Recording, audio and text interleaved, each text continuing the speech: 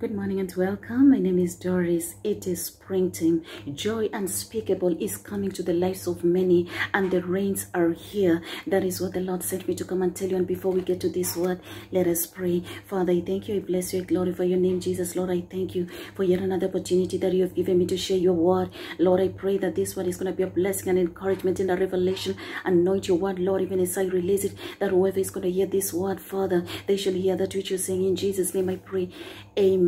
Habakkuk 1 and 5 says, The Lord replied, Look around at the nations, look and be amazed, for I am doing something in your own day, something you could not believe even if someone told you about it. The words that the Lord gives me are usually seasonal. The word may be released for a particular month or a particular year, but that doesn't mean that when when the year is over and when we move on to the next month then the word expires. The word of god is forever settled in heaven. The time that the revelation hits you that is your season to begin to walk out that word in your life. It doesn't matter when it was released. There are promises in the old testament that we that was given to the children of israel and yet we are walking it we are walking it now it's manifesting in our lives now as we place a demand on it.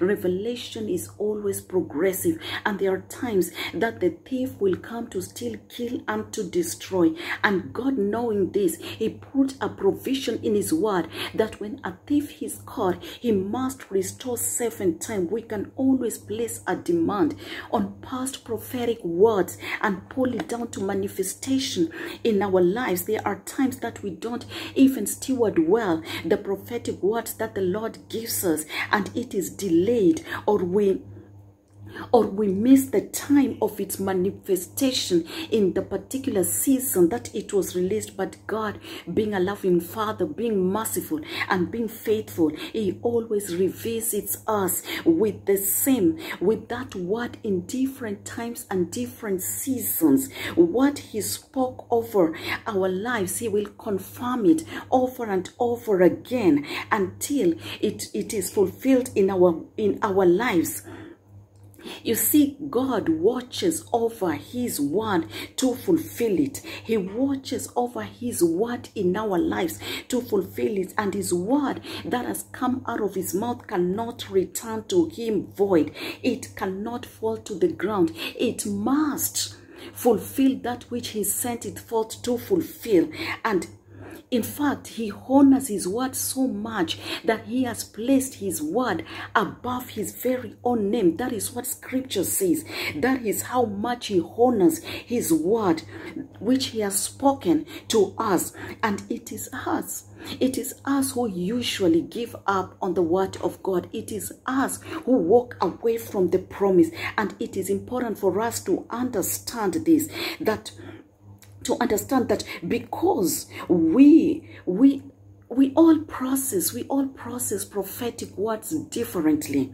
And there are times that we choose to hear only that which we want to hear. It is important to listen to hear and to hearken to the word of god. Because most of the time when god gives you a prophetic word there is an instruction that accompanies it. So it is important to listen to the end and hear what the spirit of the lord is saying and ministering to your spirit. Don't take it at, at face value. Many times in scripture, we see God saying to the children of Israel, is when if you are willing and obedient, there is always an instruction that accompanies a promise that the Lord gives you, that accompanies a prophetic word that the Lord gives you. The Lord sent me to come and tell you that there is something great that is happening in the lives of many. He is doing in the lives of many in this season. You will not even believe it. If someone were to tell you about it, you will spring forth in this season. You're blessed. You're to spring forth into your blessing. You're to spring forth into your miracle. Unexpected things are happening in the lives of many people personally and also corporately in this season. This is the season for your dreams to come to fruition. This is the season for your dreams to spring to spring forth. Your natural mind, your natural mind may not be able to believe what the Lord is saying, may not be able to believe that which the Lord is doing. Your natural man is gonna struggle to keep up with what is happening in the spirit, with that which the Lord is doing in the spirit.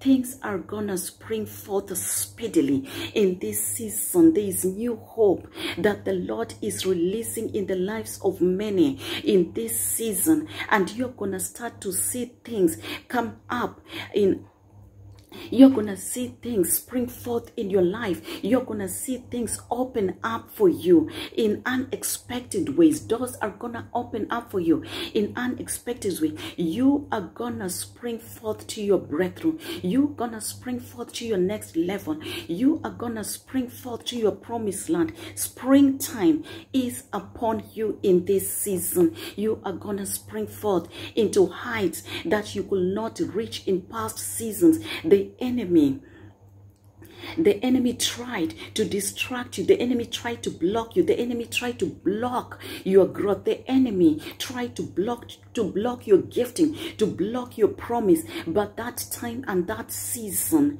is past.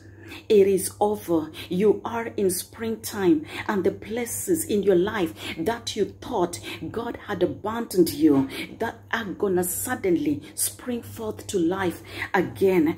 Th now is the season for you to think God's way. You have to see things God's way. Your natural mind will not be able to catch up with what the Lord is doing in the spirit. You must think God's way. For those of you who are called into, into the fivefold ministry, your ministry is going to spring forth to the nations. For some of you whose ministries have been dormant, your ministries have been dormant for a long time.